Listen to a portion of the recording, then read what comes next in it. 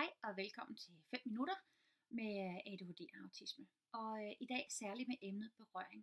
Og jeg har haft en film før med berøring, hvor det handlede om, hvordan gør vi det her med berøring, når det nu er så svært. Men, men øh, jeg har lyst til at tage fat i en misforståelse, som jeg meget, meget tit møder omkring øh, børn med autisme og berøring. Og faktisk gælder det også med børn øh, for ADHD, eller med ADHD. Øh, dem med ADHD, fordi at at hjernen har travlt, og en berøring kan virke som noget pludseligt, øh, og noget, der faktisk næsten registreres som smerte, fordi det, man er så oversansen i sin krop og i sin i sansapparat. Og dem med autisme, øh, fordi at, at de, de er i sådan en kontrol med sig selv, og berøring skal tolkes. Øh, er det her en rar ting, eller er det en vemmelig ting? Og alle de der følelser, der skal tolkes, kan være rigtig hårdt arbejde, når man har autisme misforståelsen, den er egentlig, at mange mennesker tror, at man ikke må røre ved folk med autisme. Øhm, både med mine elever og med mine drenge har jeg mange gange øh, oplevet familier eller kollegaer er kommet og sagt, eller børnenes lærer er kommet og sagt, jeg har fået ordentligt stor kram af dit barn i dag, eller din elev i dag, han gav mig en stor krammer.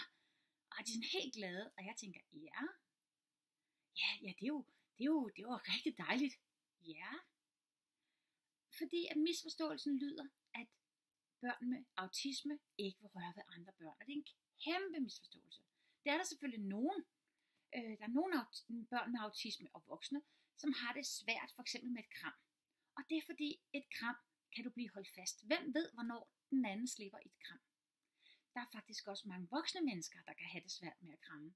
Fordi i det øjeblik, den anden ligesom holder fast, så ved man ikke, hvor tæt på ved den anden, og hvornår kan han slippe. Hvornår må jeg slippe? Det betyder ikke, at man ikke kan lide et skulderklap, eller et håndtryk, eller at holde hånden, eller noget andet. Men misforståelsen er, i den jeg har oplevet mange gange, at man ikke må røre med folk med autisme. Og den vil jeg rigtig gerne være med til at mane i jorden. Det må man rigtig gerne ved rigtig mange. Faktisk er der mange børn, der har det lige modsat, at de rører hele tiden dimser dig i øret, eller piller dig i håret, eller hiver dig i ærmet, eller krammer, eller måske ovenikøbet overskrider din fysiske grænse lidt, hvor de lige har lyst til at røre hende. Øhm, og det er lige så almindeligt, som at børn med autisme ikke vil røres ved. Det er meget typisk, at, øhm, at børn øh, ikke bryder sig om at blive fastholdt. Børn med autisme og ADHD. Øhm, så kærtegn, der minder om fastholdelse. Det kan være vemmeligt. Jeg har prøvet med, med, med nogle børnehavebørn engang, at de skulle alle sammen prøve at grave sig ned i sandet, så de kun havde øh, fra brystkassen og opad over sandet, og resten skulle være gravet ned. Og børnene synes, det var helt vildt sjovt. Vi tømte hele den ene halvdel af sandkassen og satte alle børnene på en stribe og dækkede deres ben til med sand igen. Pludselig begyndte den ene af dem at skrige virkelig fuldstændig panisk han, altså vi kunne næsten ikke få lov at grave ham fri igen, fordi han var helt i panik. Og det viser sig så, at den her dreng har autisme. Han synes, det var helt vildt sjovt at lege med de andre, og være begravet som de andre. Indtil det sekund, han oplevede, at han ikke selv bare kunne rejse sig op. Fordi at det der sand var jo tungt. Øhm, og der gik han fuldstændig panik. Og, og det er der rigtig mange børn med autisme, der har. Øh, og for den sags skyld også voksne. Øh, hvis elevatoren ikke vil åbne, hvis øh, hvis et kram tager for lang tid. Hvis pludselig man ligger nederst i den bunke, der var en sjov brydekamp lige før. Buff, så, slår, så kommer man i effekt, og adrenalinen pumper rundt, og man reagerer som om, at ja, man har to muligheder, flygte eller angribe. Øhm, men, men man må gerne røre ved folk med autisme, ligesom man må røre ved alle andre mennesker.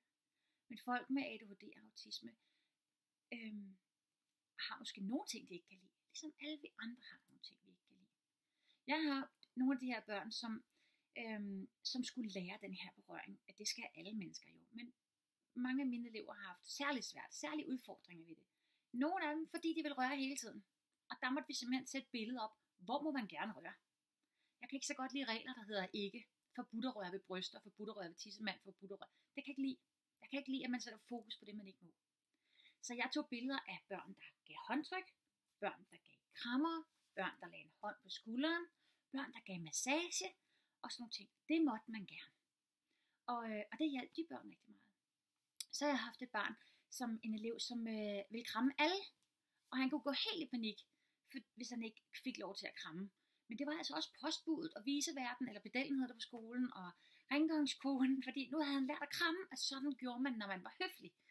Og der måtte vi simpelthen sige, øh, her er der lavet sådan nogle fem cirkler, taget fra katkassen, hvis nogen kender den, og ude i, øh, på den anden side af femeren, det, som er det længst væk fra mennesket selv, ikke?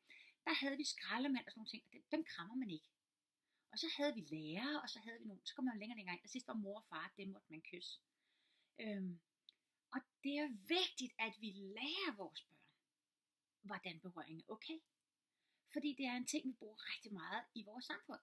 Måske lidt for lidt, men vi bruger det rigtig meget. Om det så bare er et håndtryk og et kram eller et skulderklap, så bliver det brugt rigtig meget. Og det er vigtigt, at vi får det lært. Det er vigtigt, at vores børn får det lært.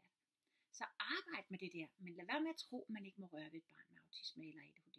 Det må man gerne. Man skal bare i samarbejde finde ud af,